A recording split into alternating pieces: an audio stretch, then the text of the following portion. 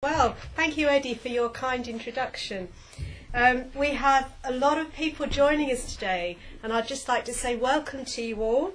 We have uh, people listening at this moment and looking from nine, at least nine different countries.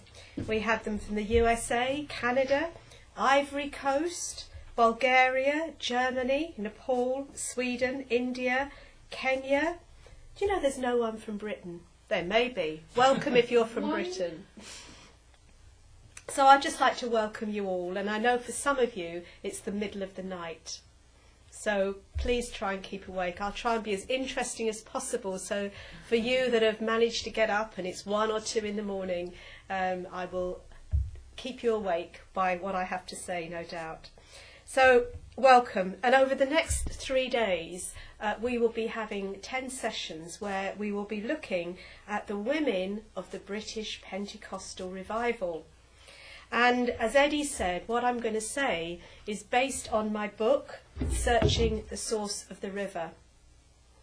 The river being the uh, outpouring that we had at the beginning of the last century, the, the, the Pentecostal outbreak, the river of the Spirit of God.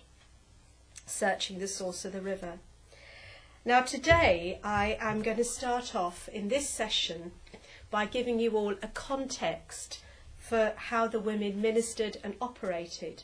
It's always good to, to look wider and, and see what was going on just a little bit and giving some background and history rather than just launching into the stories. And I'll be doing that in this first session.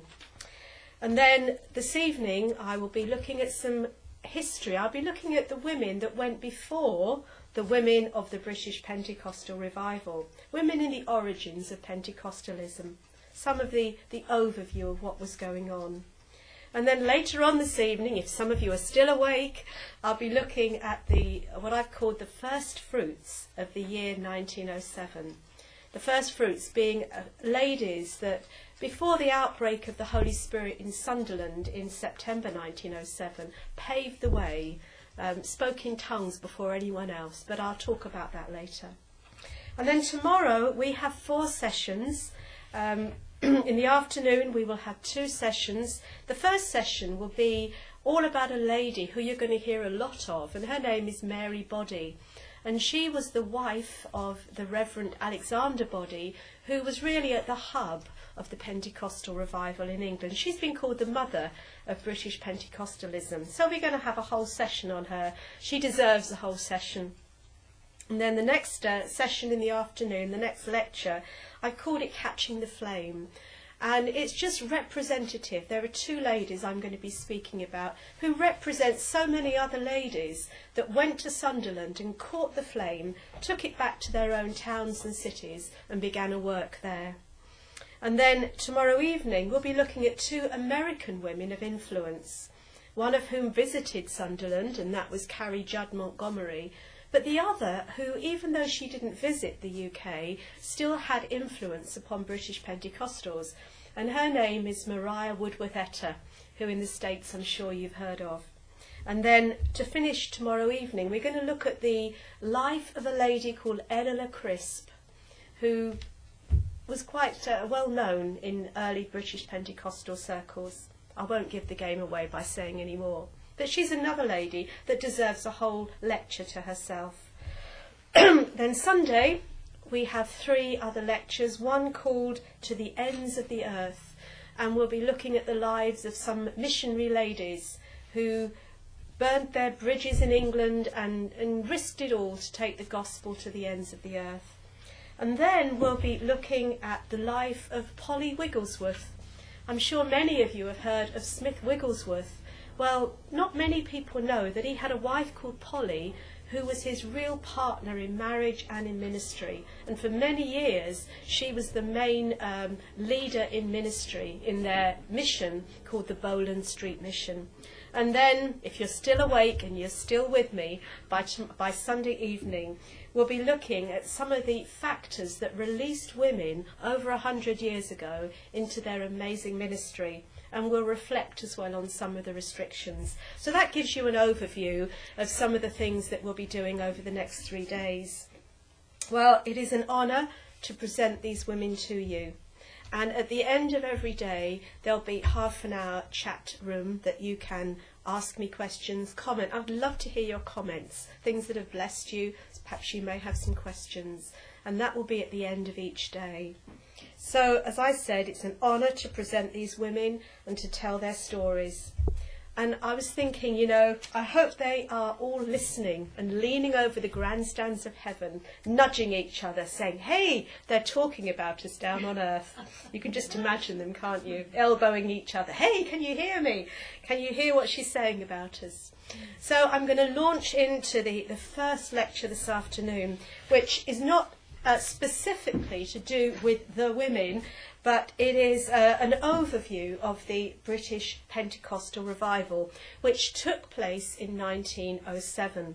Now, in Pentecostal history, those of you that have read your histories, you will have heard of names like Azusa Street. Um, you may have heard stories surrounding the first lady to speak in tongues in America, Agnes Ozman. You will have heard of Topeka, Kansas, and Charles Parham's Bible School there, William Seymour, Bonnie Street. You know, these, these are names that, you know, they have legend, they have stories around them. But I wonder, how many of you listening have heard of Fulwell Road? Or Monk Wearmouth? Or All Saints Church? Or even the Reverend Alexandra Alfred Boddy, Mary Boddy, Catherine Price? I wonder how many of you have heard of those names because those are names associated with the British Pentecostal revival. The hub of the revival in Britain was a town in the northeast of England called Sunderland. And in England, the power of the Spirit was poured out in Sunderland 15 months after the Azusa Street outpouring. And it became a well where people from Europe, from England, and as far afield as the States and other parts of the world came to drink. Now, Sunderland, as I said, is on the northeast coast of England. It's a centre of heavy industry, or was a centre of heavy industry, iron and steel works, shipbuilding, and it's centred over the Church of All Saints in Sunderland. All Saints was a Church of England church and it was built over a coal mine. And you can still go there today. Um, back in 2007 was the centennial of the Pentecostal movement in England, and there were celebrations. And I actually was very privileged to be in that church in 1907 and, and speaking at the front about the women of the British Pentecostal revival. And they're very aware of their history. There's a lady vicar there now, and her husband is a vicar in another parish nearby, and they know about the revival. There's pictures of Alexander Alfred Boddy around the room, around the walls of the, the room in the church. And next to the church uh, was the vicarage, and a lot of the meetings associated with the Pentecostal revival took place in the vicarage. And then just to walk up the road, walk up Fulwell Road, is a parish hall and that's where some of the more informal meetings took place. And the parish hall today is a church. It's actually an Elim church. And when we had the Pentecostal celebrations uh, commemorating the 100 years anniversary, they had meetings at the parish hall uh, celebrating this. Now, as we will see, Mary Boddy, the wife of the Reverend Alexander Alfred Boddy, who you see up here behind me, as a picture of him, um, as you see, he had an, um, there's Alexandra Boddy there, and then another photograph of him and his wife Mary, and two of his children, also called Mary and Jane. There was another son called James, but we don't have a photograph of him. So those are some of the main players, the main characters in the Pentecostal revival in Britain. Some of you may have read um, Frank Bartleman's book, Azusa Street, and he said this. Um, he said, This worldwide revival was rocked in the cradle of Little Wales, brought up in India, and became full grown in Los Angeles. No mention of Sunderland, but let me assure you that this worldwide revival that was indeed rocked in the cradle of little Wales, brought up in India, and became full grown in Los Angeles, it had relatives in Britain, very much alive relatives in Britain. So let's just move on and think about how this revival hit the shores of Britain. Now, the Pentecostal revival, um, as it is uh, thought of in Britain, is a story of connections connections between different parts of Europe and the States. People being in certain places at certain times, uh, setting up a chain of events. Now, Alexander Boddy, who was the minister at All Saints Church, the hub of the revival, and William Seymour, who was the leader of the revival in Azusa Street, they actually never met. Boddy did go to Azusa Street um, in fact, he went there in 1912. And when he went there, uh, William Seymour was at, on the east coast, but he did meet his wife, Jenny Seymour, and they prayed together. So they never met, yet obviously what happened in Azusa, people got to hear of it. They read the Apostolic Faith magazine, and, and there, was, there was connections, even though Boddy never actually went to Azusa Street. Now, what we're going to look at first is what I've called the Welsh connection. And you will see here a picture of revivalist Evan Roberts, surrounded by some ladies uh, that he used to travel. They're, they're female revivalists, and they would travel with him round Wales. The Welsh revival began in September 1904. And as I said, its leader was this young man called Evan Roberts. And for 18 months, uh, the revival swept the valleys of Wales and there were 100,000 conversions. And in this revival, women took a very prominent role. And as you can see, Evan Roberts um, surrounded himself with these very godly women who were touched by the Spirit of God. There was a group that used to travel with him singing, and they were called the Singing Sisters. And one of these ladies here, her name is Annie Roberts. Um, it's the one with the big hat on the right. And she used to sing in his meetings. Some of you may have heard of the love song of the Welsh revival. Mm-hmm. Here is love vast as the ocean. And, and she would hush the audience with her beautiful singing. Of course, the press had a field day and tried to pretend that there was something between them. And actually, the only dirt that they could dig up um, was that she actually washed Evan Roberts' socks once, which I thought was quite interesting. But um, well, the Welsh revival was a connection prior to the British Pentecostal revival. It was also visited by William Smale from Los Angeles in June 1905, who, who went back and started prayer meetings prior to the outpouring in Azusa Street.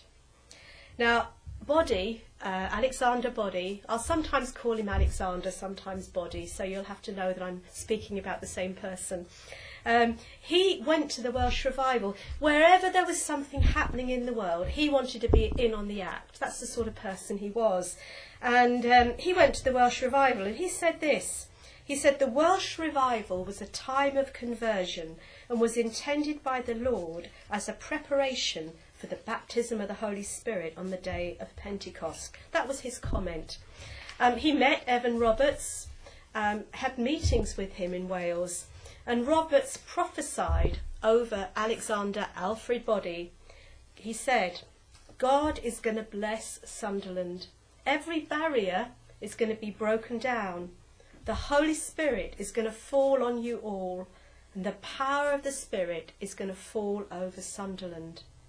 So Robert saw something in Alf, uh, Alexander Boddy. He saw that this was going to be a place where the Spirit of God was going to fall. And when Boddy came back from the Welsh revival, he began prayer meetings in the vicarage in Sunderland. A lot went on in the vicarage. You know, it wasn't in the main meetings, it was in these little side meetings. And Mary Boddy, his dear wife, was part of that. And they met night after night praying for revival. And again, he wrote this. He said, There were a people prepared here at Sunderland, eager to receive the very fullness of God and longing to honour the Lord Jesus. That was his comment on the prayer meeting that they had. A few other things about this meeting. He says that in June, three months before the revival, as they were in the vicarage, he said a light filled the room as they were praying, and then the light lingered. They could look out the vicarage, and there was the church at the side, and the light lingered over the church roof. And in this particular meeting, one man fell to the floor and saw a vision of Jesus. Now, you've got to understand that these were Anglicans. These were not wild people at all. These were sane Church of England Anglicans. So they they can be wild, but let me just say, English people are not noted for overstatement. So you know, if they're saying a light filled the room, and if they're saying I saw a vision of Jesus, we you know they're not making it up. That's what I'm trying to say. So another time, Mary, you remember Mary Boddy? That's Alexander's wife. Uh, she says a wonderful light fell on her, causing her to laugh as she's never done before. So they were in preparation for what was going to happen in the September. So that's the Welsh connection, giving you some background. Then we have the Keswick connection. Now, you may have heard of the Keswick Conventions. They began in 1875, and you know they're still going today. They still have Keswick conventions. And Keswick is in a beautiful part of England called the Lake District. It's in the northwest of England. and in the uh, 1870s and 80s and 90s, it was a centre for holiness teaching. And they would have the key speakers of the day. You know, that's, that's the place, it was the Bible week of the, you know, the day, that's where they went to. It had key speakers there. And it affected, the holiness teaching affected many, many denominations, especially the Church of England. You know, it wasn't just nonconformist churches. And women in the Keswick conventions played, played a prominent role. Often they were key speakers there. But unfortunately, the Keswick uh, convention were to reject the speaking in tongues aspect of Pentecostalism. They would say, yes, we want Pentecost for Britain, but they saw that in the holiness understanding in terms of sanctification without the gift of tongues. So eventually uh, there was a split between what was going on at Keswick and Keswick spirituality and Pentecostal uh, spirituality, as in as in with tongues. Um, I just mention here that one prominent woman in the Keswick uh, circuit was a woman called Jessie Penn Lewis. Some of you may have heard of her. She uh, was involved with the demise, if you like, of the Welsh revival, and she became very antagonistic towards the Pentecostal revival. She had a negative effect on Evan Roberts after he'd actually had a nervous breakdown and, and influenced him and tried to make him say that the whole of the Welsh revival was a deception and, and too emotional. And she, she really, uh, she used to keep a little black book actually and write down everything she didn't like. Uh, so she was quite a negative influence uh, on the Welsh revival. And uh, she was very outspoken when the power of God fell on Sunderland and people began speaking in tongues. She actually wrote to Alexander about his wife Mary, saying that she was in deception. Mary didn't like that. She wrote sharply back. She was having none of this. So this is just some of the uh, connections with Keswick. Now, Mary and Alexander, before they were married separately, they used to visit Keswick. They were very involved and, and they, they took on the whole understanding of holiness teaching. Um, Mary's, Mary had a brother called John Pollock, who was a curate in the Church of England, and um, this is how she met Alexander actually. Alexander was the vicar of All Saints Church, and he used to hold evangelistic campaigns and John Pollock was his curate. And so at one campaign, he asked John's sister, who happened to be Mary, to come and sing. So I think more went on in the evangelistic campaigns than just singing, because they did get married several years later. Uh, so there is that Keswick connection. A second, uh, oh no, let me let me just tell you what um, Alexander said about uh, the Keswick connection and, and holiness. He said, We have taught and realized holiness as well as conversion. holiness by union with the mighty Saviour in his death and resurrection and glorious ascension. He said, The Lord Jesus was and is the centre of teaching and worship at Sunderland. And this is interesting. This is his comment. He says, Surely this has been the secret of blessing, and we think it is the one reason for his willingness to use this place. And as I go on talking about the women and some of the things that were said, you will see that there is a great emphasis on Jesus. Not on manifestations, not even on the tongues, but on Jesus, which is very interesting. Another connection that we want to look at, I've called that the India connection. Now, you might say, what has India got to do with England? But there was a lady uh, called Pandita Ramabai. I have her picture. I'll just pop it there. Pandita Ramabai. She was uh, a,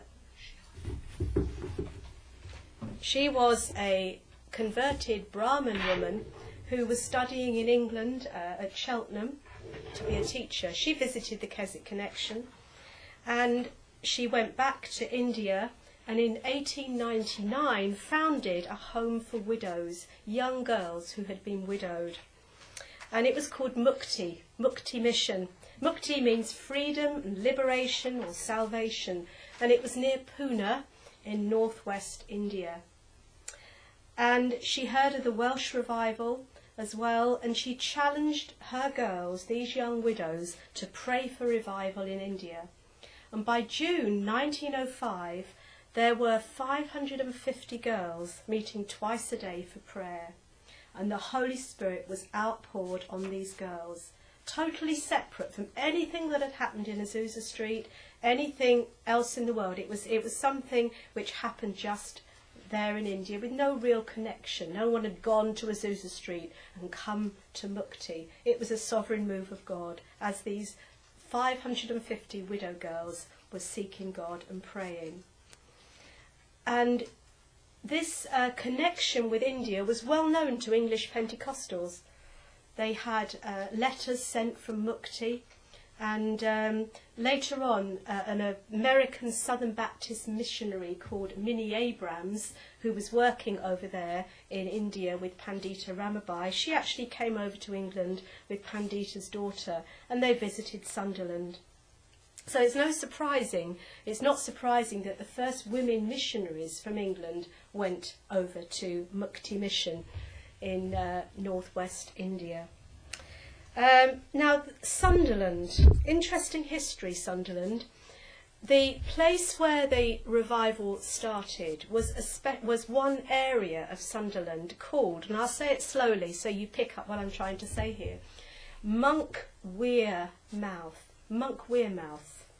Monks at the mouth of the Wear. The Wear is a river that cuts down into the sea at Sunderland. Sunderland. So, right the way back, historically, there had been a centre of Christianity in that very place where the revival broke out. There had been monks at the mouth of the Wear.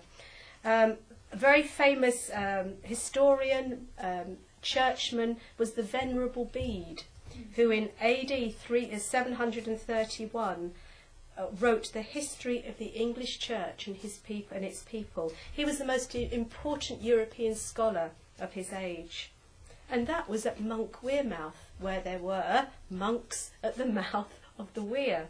There's a, a, it's not the purpose in this lecture to give a history of what has happened in Sunderland, but it's, it's, it's as if God prepared the place. You know, you can look back at the, the people that have ministered there um, the Quakers, the Methodists, they all had the most success when they went to Sunderland. And we'll be looking at some of that later. And in fact, um, the Reverend Alexander Alfred Boddy recognised this, and he said, The Lord has had witnesses in Monk Wearmouth throughout the ages. So he actually saw what was going on in Sunderland, in Monk Wearmouth, as you know, he could see the history behind it and said, Yes, the Lord has had his people in, you know, throughout the ages, and he saw himself as following on in succession. So, one more link in the chain. And I've called this the Norwegian connection. So we've had the India connection, we've had the Welsh connection, and now we have the Nor and the in, yes, the India connection, the Norwegian connection, the final link in the chain of the outpouring in Sunderland. Now there was a pastor in what is now Oslo. It was then Christiania, the capital of Norway. His name was Thomas Ball Barrett, and he was the son of an English tin miner and went to Norway as a child. So he spoke English, and yet he was Norwegian and had a church there. And he was on a fundraising trip to the United States, in the eastern United States, when he heard about the revival taking place in Azusa Street. And he sought out people who had received the Holy Spirit uh, from the blessing that was poured out in Azusa Street. And he actually got baptized while he was in New York and spoke in tongues. and that was October uh, 1906. And he carried that back home. Many were baptized in his church. They spoke in tongues. They were actual tongues of fire. They were visions of Jesus. And again, Alexander, who would travel to where God was moving, I think that was a, a reason God was able to use him as well. He travelled to Christiana because he wanted what he heard that um, Thomas Ball Barrett and his church had received. And he said this. He travelled there in March 1907, and he said this. Remember, Oslo was Christiana. He said, My four days in Christiana can never be forgotten. I stood with Evan Roberts in Tonypandy, but have never witnessed such scenes as here in Norway. He says that as he knelt down, surrounded by the Norwegians, a power from on high seemed to thrill through them to me. It's interesting that he says that was his baptism, but he didn't speak in tongues until the 2nd of December. Uh, he saw a distinction. He, his theology was always a little muddled, but he did see a distinction between that experience that he had in Norway and later when he spoke in tongues. So, what Boddy did was invite Barrett back to Sunderland, and he came on the last day of August 1907, and he stayed for six weeks. And the fire fell in Sunderland. Now, meetings were held in the parish hall, not in the main church. And the local paper, which is called the Sunderland Echo, said this about what was going on in the meetings. You can just imagine it, can't you? Do you know they're holding some extraordinary services at Monk Wearmouth? Why, everyone is talking about them. Women throw themselves on the floor and babble in unknown tongues. That was in the local paper. And it became the theme, the one theme of conversation in the neighbourhood. Now, at first, these meetings were small, but on uh, the in the October 4th edition of the Newcastle Daily Chronicle, it said this: Newcastle is a town a few miles away. It says this: the meetings are attracting widespread interest. Two meetings are held each day, one in the afternoon, another at night, and these are crowded. For the most part, the meetings are conducted along the lines of a revival meeting, and the audience break out into spontaneous prayer and hymn singing. The emotional faculties of the worshippers are aroused to a very high pitch by the exhortations of the conductor of the service. And it is, excuse me, it is no uncommon spectacle for one of them to throw themselves on the ground, weeping, while others gabble and utter what appear to be unintelligible sounds. So these were reports in the, the local paper. Having said that, the meetings, if you read the, the accounts written at the time, and you read the accounts of what was going on in Azusa Street, what was happening in Sunderland was far less raw than what was going on in the States. And it's interesting that the, the meetings they had in Sunderland, they were in two sections.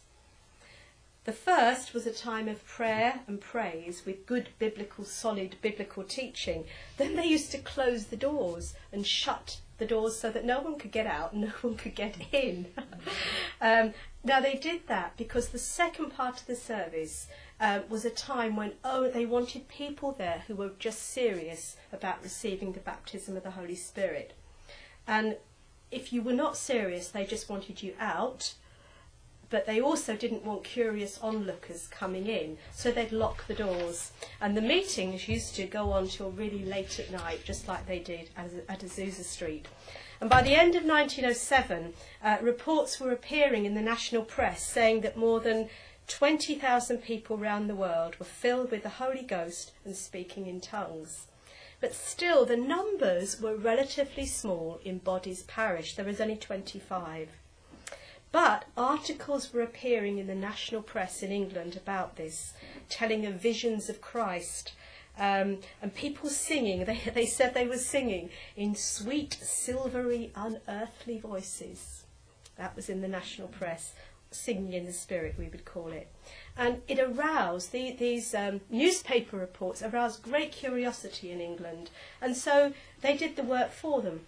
The, the secular press was spreading what was going on, and people would come to check it out, as we would say. They wouldn't say that 100 years ago, but we would say they went to check it out. Uh, so that's something of the background. Um, and the revival continued building. It was building right the way from September 1907 until the First World War. And this is the context for looking at what the, the role of women was in those early days. Let me read you something else that uh, our friend Alexander Alfred Boddy said. He said, The Lord has blessed us the hundreds who from the very beginning up to this present hour, he wrote this in 1912, have been receiving the blessed baptism of the Holy Ghost here in our meetings at Sunderland. The Lord has also been graciously healing the sick all the time. He has never withdrawn his presence or his power. Uh, and to our meetings here come members of almost all Christian bodies in this town and visitors from other places and they carry the blessing back to their own communities. That gives an overview of what was going on in those years between 1907 and the First World War in 1914. Now, what I want to do is look um, at two important things that happened in Sunderland that helped shape Pentecostal theology. And in these two things I'm going to talk about, women pay, played a, an amazingly crucial part. And the Pentecostal message was disseminated worldwide, firstly through the Sunderland conventions. And you'll see a picture of some of the Sunderland sisters, the ladies that um, were taking part in the, uh, the second, actually, Sunderland Convention in 1909. And then um, I will be speaking about confidence, where uh, a magazine was disseminating the information from Sunderland around the world. Okay. So first of all, confidence. We have here um, we have here a page of confidence. This is a magazine, and uh, it was because of this magazine that we know so much about the Pentecostal revival in England. In April 1908, seven months after the revival, the Lord put it in the heart of Alexander Boddy to edit and publish this magazine. He called it a free Pentecostal paper. And it was the first British paper that told of this outpouring with the sign of tongues. And the importance of this magazine cannot be overestimated. It spread the message that Alexander and his wife Mary wanted to spread round the world. Alexander said, It is meant to be a means of grace and mutual encouragement, encouragement to lonely ones and scattered bands, to those who are attacked by doubt and difficulty, but longing to be loyal to the Almighty Deliverer. They will find from these columns that they are not alone as regards even human fellowship, but there are many that have perfect confidence, the name, that this work is of God, and who will be rejoicing to know that his Pentecostal blessing is spreading all the time. Confidence was named after two scriptures which I will just mention to you. One is 1 John 5:14. This is the confidence that we have in him that if we ask anything uh, according to his will, he hears us. So people were asking for the Holy Spirit and they received it and they had confidence that God would answer them. The second scripture is in uh, Proverbs 3:16. The Lord shall be thy confidence and shall keep thy foot from being taken. So there was a pointing to confidence in the faithfulness of God to answer prayer and to keep them. Now, two ladies were involved with this magazine, and I'm not going to speak about them too much uh, this these 10 sessions that I'm speaking on, but you will find a chapter in my book on these two ladies. Their names were Margaret Howell and Mabel Scott. Margaret and Mabel. They were just two ordinary spinsters who felt they were called to go to Sunderland to help put this magazine together. Now, if they had not been there, faithfully editing, putting this magazine together, sending it out, then we wouldn't know everything that we know about the Pentecostal revival, and I wouldn't be standing here today talking about it. So we owe a lot to these two sisters from Sunderland, Margaret and Mabel, these two spinsters. Um, let me just give you some statistics here, and you'll see what I mean. Um, by January 1910, 4,000 were sent out monthly from Sunderland with an average of five readers a copy. Now, if you do your sums there, that's 20,000 readers altogether.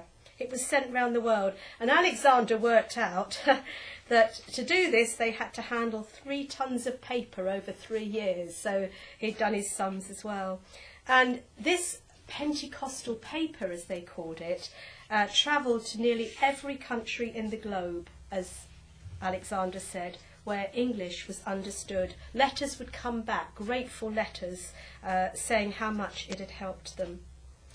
And he says right at the beginning, he, he puts his foundational theology into this magazine. So, right from the beginning, what Alexander wanted in it was sent out round the world. So he had such a say in, in what early Pentecostals believed.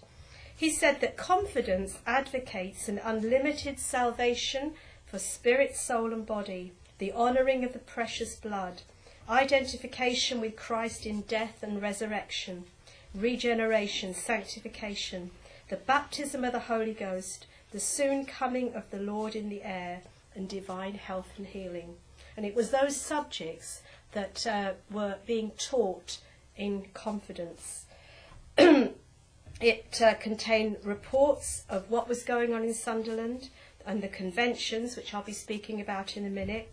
It contained testimonies of people receiving the Spirit. It contained letters. It contained teachings. It had columns called Pentecostal items, which told of what was happening around the country.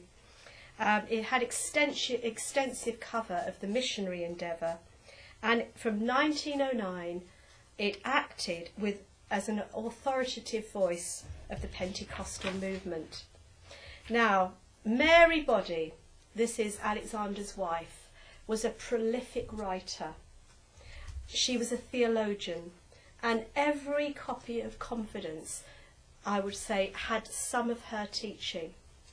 And so what Mary Boddy began to teach was disseminated through confidence, through the written word, um, and also many other women who ministered in the revival. Now, one of the people who I'll be referring to over this weekend is someone called Donald Gee. He actually became the General Superintendent of the Assemblies of God in Great Britain and Ireland. And he was an historian as well. And his history of the Pentecostal movement was called Wind and Flame. And you can learn a lot about the early movement through that. And he said about confidence, he said God honoured confidence in a special way and was pleased to make it one of his principal channels to bring many in touch with the Pentecostal blessing. He said it was highly treasured by hungry hearts. And he says this, which is interesting. He says there was a rare anointing that rested on those early issues. And in fact, I've actually read every issue. I've sat there and looked at them uh, where they're archived in Mattersey Bible College. And they are very special to read. And of course, now you can get them on disc. If anyone wanted to read the whole of the history of confidence, you can actually buy the, the disc with, with all the issues on. Now, the second thing I want to talk about, um, we talked about how confidence disseminated the Pentecostal message around the world. The second important thing is the Sunderland Conventions. I showed you the picture we have here of the Sunderland sisters. Now, these were conventions which Alexander Boddy and his wife Mary began from 1908 onwards to the outbreak of war in 1914. Um, the first one, which happened at Whitsuntide in 1908, which is the end of May, beginning of June, there, uh, uh, it was thought that um, at that time there were 500 people in Britain, as who Alexander said were in the experience.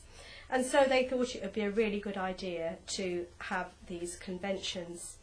But you know, you couldn't go unless you had signed a little card to say that you were in full agreement with the teachings that were going on in Sunderland and that you would also accept the ruling of the chairman. So they weren't open to everybody. They didn't want people coming to disrupt. Uh, so you, you had to have a, a signed declaration, an admittance card before you were allowed there. But these conferences were incredibly effective. People would come from England. They were the flagship of the emerging movement. And they brought unity amongst the, the believers who had been filled with the Holy Spirit. They had speakers from England, uh, speakers from Germany and Holland, and in one early conference there were 32 people who uh, were 32 nations rather that were representing represented. And like confidence, what was said at the Sunderland Conventions was, was a foundational theology and understanding of the Pentecostal movement in England. And the messages that were spoken, many by women, were reprinted in confidence. Um, much of the teaching at these conventions was by Mary Boddy and many other women whose lives we'll be looking at. And what is interesting, if you read the accounts which, which are in confidence of the early conventions, especially the first Sunderland Convention, what we see is the amazing unity between men and women, between social classes, between denominations. It was like a visual aid as you read um, what confidence has to say about the first Pentecostal uh, Sunderland Convention.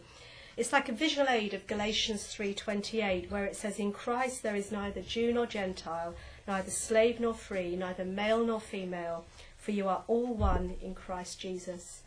And if you keep that in your mind as you read the account of the first Sunderland Convention, you will see that that's exactly what happened. And it's amazing how you see the women take part. Um, they're, they're speaking, they're in business meetings, they're giving interpretations, they're prophesying, they're speaking in tongues, and they're given an equal platform with the men. So, the beginning of the Pentecostal movement in England. It was a time, you know, in England where women, and in other parts of the world, in the States, and I'm sure in Canada as well, where women were pushing traditional boundaries we see that clearly in the suffrage movement. You know, but these women um, in the Pentecostal revival, they didn't take their cues from the secular world, but rather from the Spirit, the the freedom that the Holy Spirit was given them, giving them.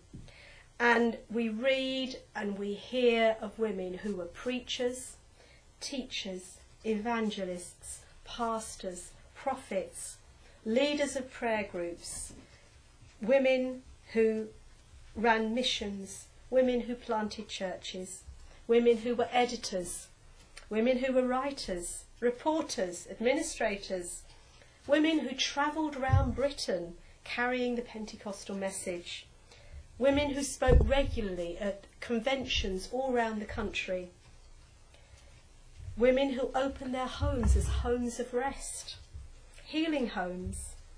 Many heard the missionary call and went to the ends of the earth. One historian in England uh, called Desmond Cartwright, he's an Elim historian, he said this. he said, Women were an integral part of the narrative, and without them we may speculate that the Pentecostal revival may never have taken place. Pentecostalism may glory in the fact it has no founding father, which you may say is debatable. He says, but it did have many nursing mothers who kept it alive in its infant years. Now, This is not immediately obvious when you read the Pentecostal histories. I've mentioned the history Wind and Flame, which was written by Donald G, and he only gives a, a few fleeting references to these women. And there's another book that he wrote which has a very interesting title.